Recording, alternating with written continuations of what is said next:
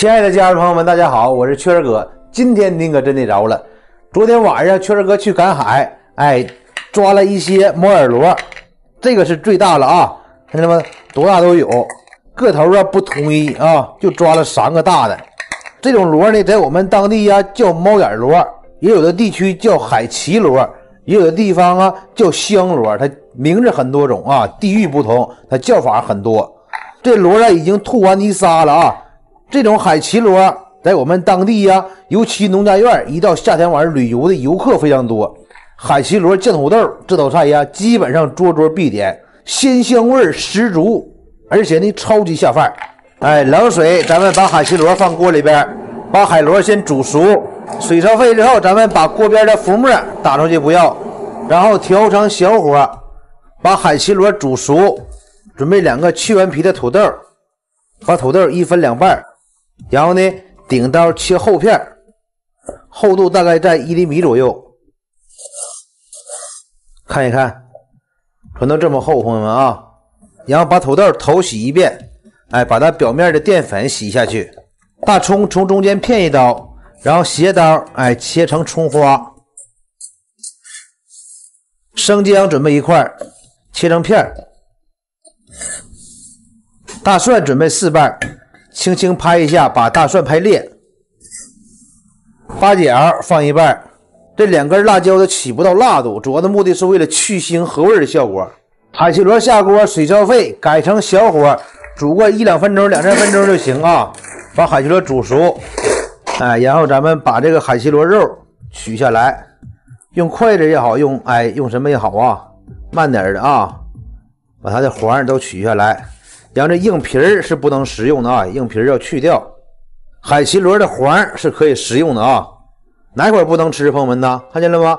海奇螺头下方的下边的这个内脏，这地方是不会食用的啊，咱把这块去掉就可以了。然后把，然后再洗干净啊。哎，海奇螺都洗干净之后，咱们把这个别大的呀改一下刀啊，这大的从中间切一刀。把锅充分溜透，咱们放点猪油，尤其咱们做海鲜类菜品啊，放猪油呢，它能有效的去腥增腥。然后先把八角放锅里边啊，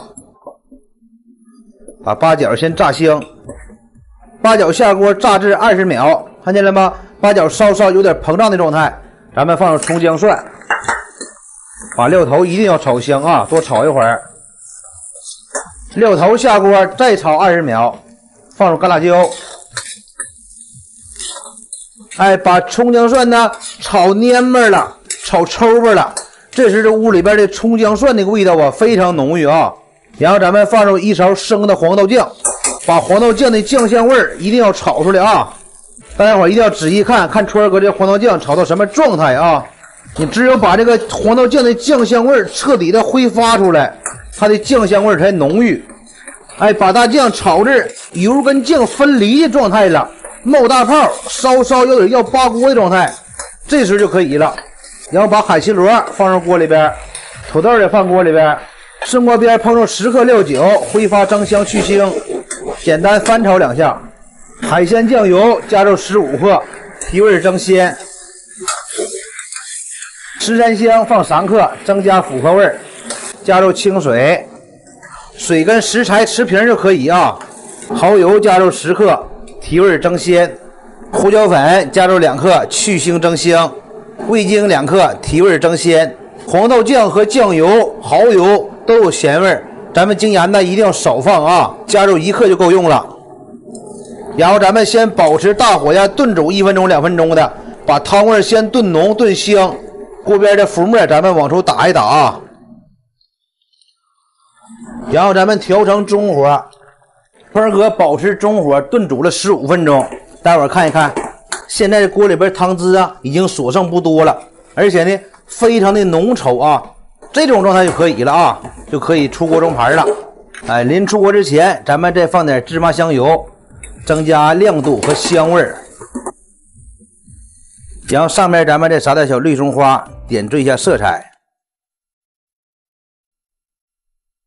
海奇螺酱土豆制作完成了。这道菜呀，在我们海边的农家院那是卖的相当火爆了。来旅游的游客，桌桌必点这道菜。不仅酱香浓郁，而且呢鲜味十足。先尝尝这个海奇螺，海奇螺的口感哏啾啾的啊，特别好。尝块土豆，哎呀，这土豆都起沙了，朋友们啊！